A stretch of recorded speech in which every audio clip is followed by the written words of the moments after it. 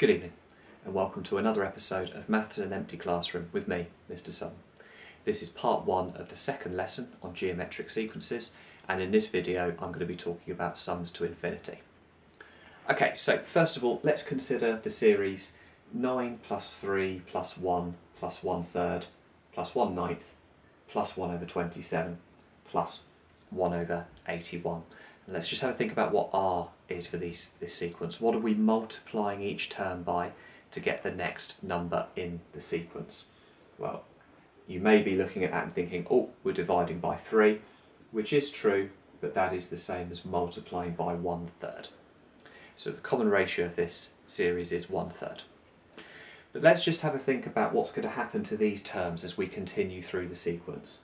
1 third, 1 ninth, 1 over 27, 1 over 81. So these terms that we're adding on are getting smaller and smaller as we move further through the sequence.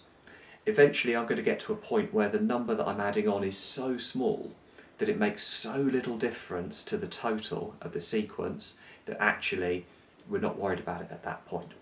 And it's sequences like this, geometric series like this, that have a sum to infinity. So theoretical sum that you get past a certain number of terms, you're getting to this number. Now, if this, this sequence, that will work very well because what you're doing is you're multiplying by a number that's less than 1, which means that the terms are getting smaller. Um, if you're multiplying by um, a number that's greater than 1, the terms keep getting bigger. There is no sum to infinity because you keep adding on bigger and bigger and bigger numbers. Uh, so if, for example, you were going to be doing 1 plus 2 plus 4 plus 8, where you're doubling each time, the numbers you're adding on are getting bigger and bigger and bigger, and therefore there is no sum to infinity, the sum keeps getting bigger. Whereas this one here, the sum is going to get closer and closer to a given value, um, and we're going to explore um, how that works. Now, the rule for sum to infinity is a over 1 minus r, uh, but crucially, r has to be what we actually write. We write that the magnitude of 1, so the value, the magnitude of r, I should say, the value of r has to be less than 1. What that actually means is that the value of r has to be between negative 1 and 1, basically it has to be a fraction.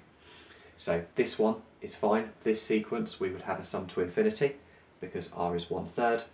This sequence here we would not have a sum to infinity because r would be 2, which is bigger than 1.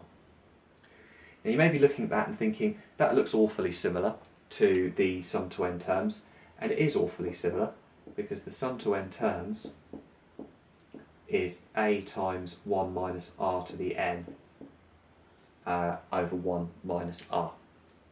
Now, let's just think about how you get to this, sorry, to this from this. If r is a small number and you raise it to a really big power, it's going to get closer and closer to zero. So what's actually going to happen is this value here gets closer and closer to zero, which means that this bracket gets closer and closer to 1. So the series, the sum of the series tends to a times 1 over 1 minus r, which what we have here. So that's where it comes from. Uh, more importantly is um, how to use it. So uh, if, for example, uh, we had a uh, geometric series uh, where a equaled 1 and r equaled 1 half, and we were asked to find the sum to infinity, uh, all we would do is we would use the sum to infinity formula, which is a over 1 minus r, uh, which in this case would be 1 over 1 minus a half, uh, which would be 2. And what we can do is, if we write a few terms of that sequence out, you can see really nicely where that 2 comes from. So, the first term is 1, we would then be adding a half, adding a quarter, adding one eighth, etc., etc., etc. So if you thought about this in terms of um, circles, if I drew two circles out, your first term 1 is like shading in a whole one. We would then have a half, shading, and then a quarter, and then an eighth, and then a sixteenth. And what you're hopefully seeing is the more terms that we add, we're going to get closer and closer and closer to two wholes shading those two um, solid circles.